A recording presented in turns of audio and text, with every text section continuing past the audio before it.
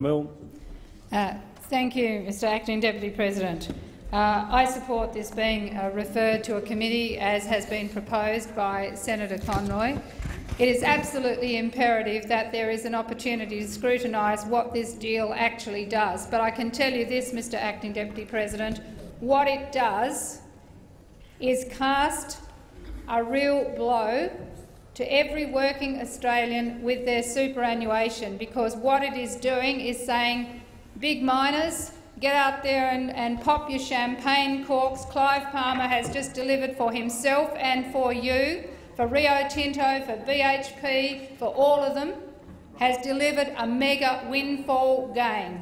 And if ever there is a conflict of interest, it is this one.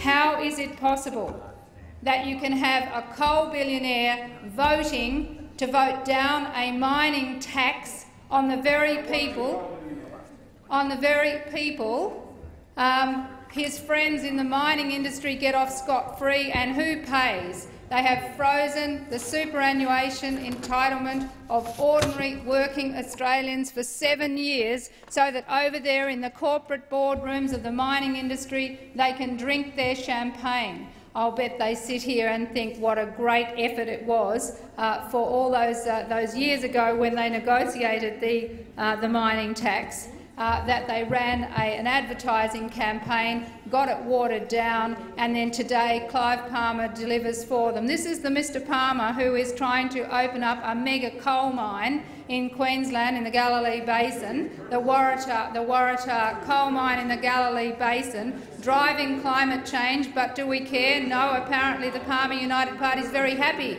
to abandon carbon pricing, another windfall gain. This is exactly what the Australian people, Mr Acting Deputy President, exactly what the Australian people were concerned about at the prospect of a mining billionaire coming in here and changing the law to facilitate a benefit to the big miners to the expense of ordinary working Australians. That is an absolute disgrace. And as for trying to pitch this as some kind of win, all they're doing is delaying the abolition, delaying the abolition of the benefits that are here, whether it is uh, in terms of the school kids bonus or anything else. It is absolutely just delaying abolition. What the Greens are saying is we should be actually raising the money from the big miners in order to put it into health and education and benefits. But I just want to uh, get to this area of superannuation again because this is critical. Why is it fair? Why is it fair that those in the public service and those in politics and in the Palmer United Party sit here and we get 15 per cent superannuation going into our retirement but working people are still stuck there on nine, and we're going and saying seven years you can be frozen in that. Seven years you can put up with that so that BHP can, can actually pop the champagne cork. So Gina Rinehart can say, now I've got more profits, I can push for an abolition of the minimum wage and do you in even further. That's where this is going. This country has become a plutocracy. That's what it's become. Democracy has gone out the window. This is a plutocracy, a government for the wealthy, by the wealthy.